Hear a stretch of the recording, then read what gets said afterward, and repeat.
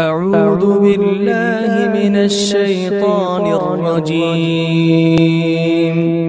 بسم الله الرحمن الرحيم.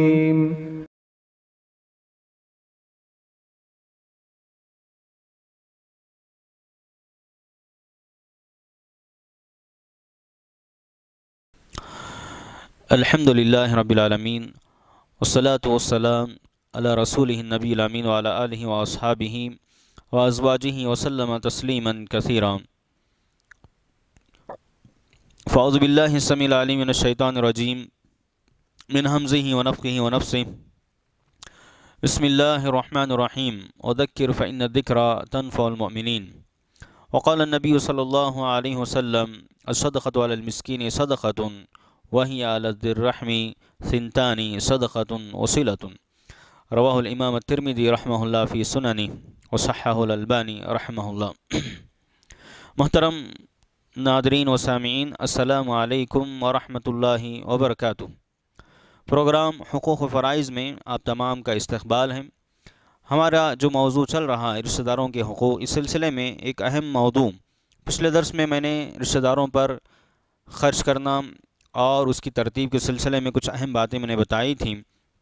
آج کا جو موضوع ہے رشتہ داروں پر خرچ کرنا دوہرے اجر کا باعث ہے۔ صدقہ کرنا، اللہ کے راستے میں اللہ رب العالمین کا دیا ہوا مال خرچ کرنا یہ عدیم نیکی ہے ایک عدیم عبادت ہے یہ ہر کسی کو نصیب نہیں ہوتی۔ اس کے کرنے کی توفیق اللہ تعالیٰ ہر ایک کو نہیں دیتا۔ آج کتنے بڑے مالدار ہم دیکھتے ہیں۔ بڑے بڑے مالدار لوگ ہیں۔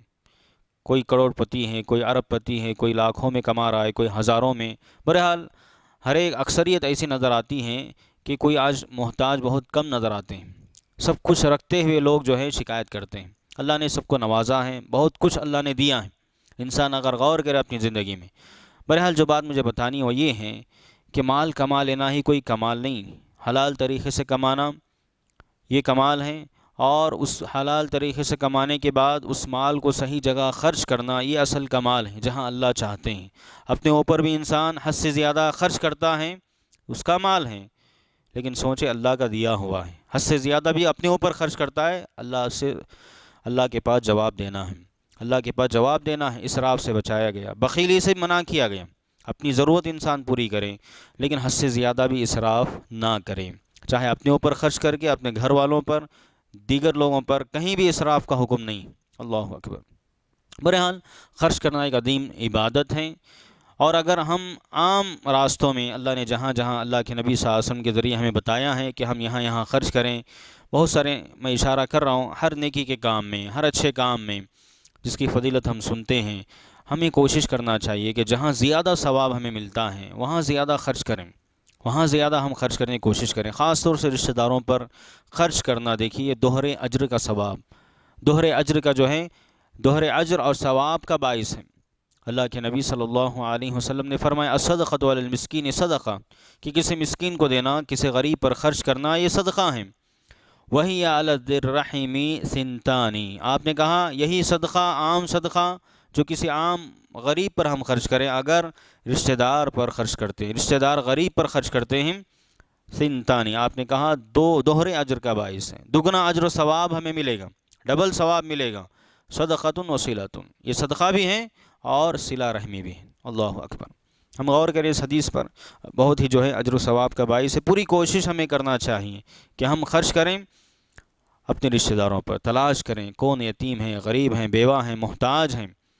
عام لوگوں پر بھی خرچ کریں۔ اور خاص طور سے رشتہ داروں میں جس کے بارے میں ہم علم ہیں، پہنچیں اس کے پاس جائیں، خرچ کریں۔ ہمارے اسلاف کی عدیم تاریخ ہے ہمارے پاس۔ اس سلسلے میں اللہ نے اپنے نیک بندوں کی تعریف کی قرآن مجید میں۔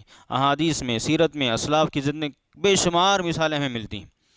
اسی طرح ام المومنین میمونہ بنت حارث رضی اللہ تعالیٰ عنہ نے ایک مرتبہ اپنی لونڈی کو جو ہے آزاد کر دی۔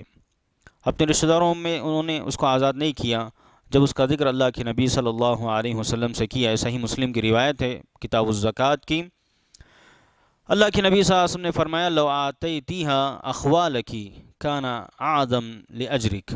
اللہ کے نبی صلی اللہ علیہ وسلم نے کہا، اگر تم اپنے ماموں، جو تمہارے ماموں وغیرہ ہیں رشتے میں، اگر ان پر تم اگر لونڈی کو خرچ آزاد کر دیتی، ان پر جو ہے تقسیم کر دیتی، اس لونڈی کے جو معاملہ تھا تو آپ صلی اللہ علیہ وسلم نے فرمایا کہ تمہارے اجر میں زیادہ جو ہے اجر کا یہ باعث ہوتا، تمہیں دوہرا اجر ملتا۔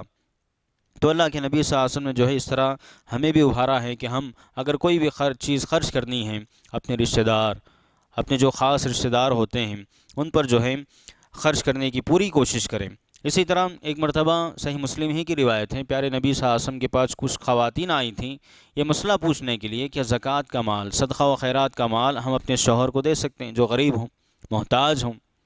شوہر بیوی کو نہیں دے سکتا زکوٰۃ کا مال، لیکن بیوی اگر مالدار ہیں، شوہر جو ہے کم کماتا ہے۔ بیوی کو اپنی وراثت میں اور بہت ساری جگہوں سے جو ہے مہر میں اور اس کو کاروبار بھی اگر کرتی ہے جائز طریقے سے شریعت کے دائرے میں، اس طرح اگر وہ مالدار ہے بیوی جیسے عبداللہ بن مسعود رضی اللہ تعالیٰ عنہ، انہوں کی جو ہے بیوی زینب رضی اللہ تعالیٰ عنہ مالدار تھی، انہوں نے بھی مسئلہ اللہ کے نبی صلی اللہ علیہ وسلم سے پوچھا تھا۔ صحیح بخاری میں اس کا ذکر آیا ہے۔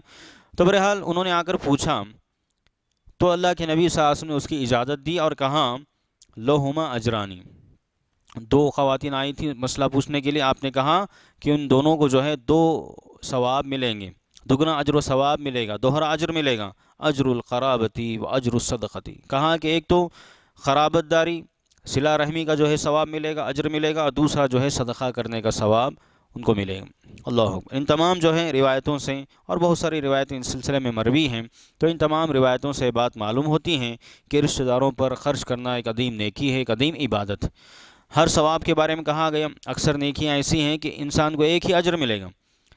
وہیں اگر رشتہ داروں پر خرچ کرتے ہیں، ان کی مدد کرتے ہیں مال کے ذریعے یا دیگر جو بھی ہم خرچ کر سکتے ہیں، اسباب ہیں، وسائل ہمارے پاس ہیں اور دیگر جو بھی ضرورت کی چیزیں ہوتی ہیں، اگر مہیا کرتے ہیں تو ہمیں جو ہے دوہرا اجر ہمیں ملے گا، دگنا ثواب ملے گا۔